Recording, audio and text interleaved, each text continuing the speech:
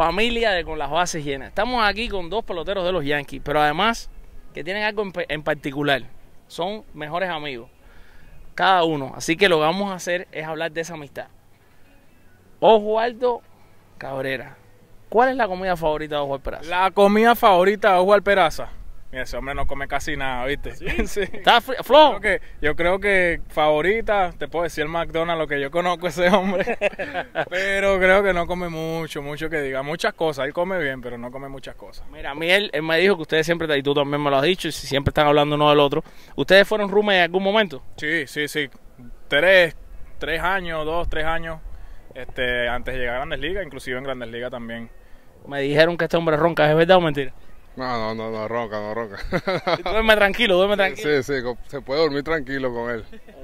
¿Cuál es el juego favorito de MLB Show que juega Oswa- Oswaldo? No juega. No, le, no, le gusta. no te creo. No le gusta, no le gusta eso. Lo, lo de él es ver peli- serie, serie de, de un mes. Se puede pasar un mes ahí seguida.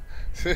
¿Y qué tal? ¿Y qué tal? ¿Y qué, cuál es el hobby favorito de Oswald? Jugar play, eso sí, eso sí te digo, jugar play, ese sí juega. Pile play. Como MLB The Show. MLB de show, él es bueno, él es bueno. ¿Qué es pasa cuando batea con él mismo en MLB The Show? Mira, yo lo he visto bateando, pero conmigo. No, Lo he visto bateando conmigo y se ponchó. no. Bro, no puedo creer esto. Oye, fíjate, nada, ahora ya un poco más en serio. Ustedes son mejores amigos, tienen la oportunidad de estar en este equipo, llegan a este sprint training. Cuéntame tú primero, Oswald. Lo- Ustedes tienen incluso los lockers para que sepan la gente, los camerinos, la- la- las taquillas, una al lado de la otra. Cuéntame en este sprint training cómo te has sentido eh, con Oswaldo y, en general estás trabajando muchísimo. Tu defensa es increíble. ¿En, qué sientes que vas a trabajar más en este sprint training? No, de verdad que me siento bien, gracias a Dios. Primeramente la, salud, que es lo primordial. Este, y nada, lo mismo de, todos los años, de, defensa y, y el bateo, o sea, lo que, lo que siempre he trabajado. Ahorita enfocado más que todo en el bateo, que sé que cuando o sea, jugué grandes ligas tengo que hacer algunos ajustes y en eso estamos trabajando, pero gracias a Dios estamos, estamos listos. Y nada, con Cabrerita siempre hablando, siempre ayudándonos, dándonos apoyo. Y de verdad que es un buen compañero. Quisiera tenerlo por, siempre en, el equipo. Pero nada, aquí estamos, los dos aprovechando la oportunidad y dando lo, lo mejor de nosotros. En cuanto a ti, evidentemente ustedes están en una posición en la que tienen un chance de estar en ese roster de Opening Day, tienen que salir a lucharlo en estos sprint training.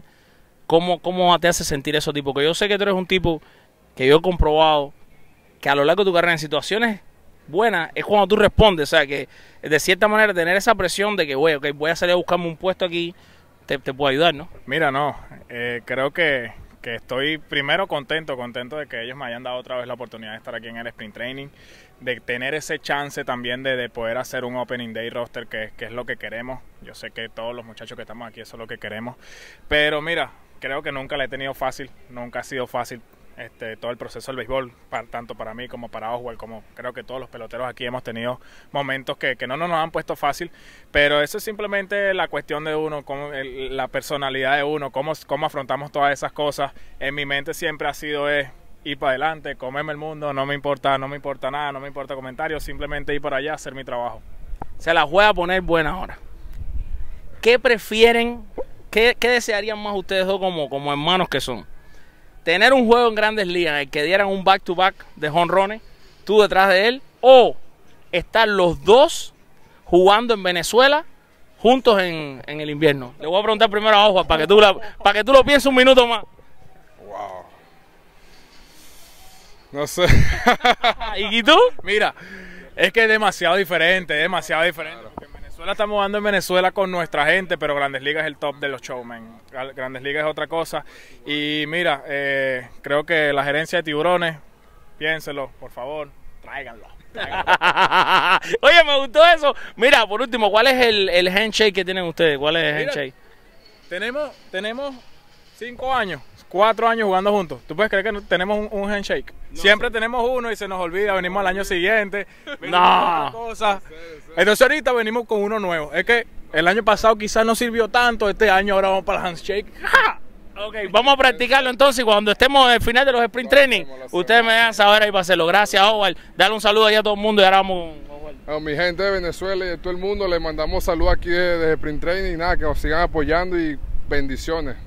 Familia de la base llena, usted sabe que estamos aquí metiendo mano. Este hombre me va a quitar mi trabajo un día, yo sé esto. metiendo mano como siempre. Mira, divirtiéndonos muchísimo, trabajando aquí fuerte, así que sigan apoyándonos, sigan, sigan viendo, como dice el dominicano, sigan viendo. Mi gente, Osvaldo Cabrera, ojo a Peraza para con la base llena.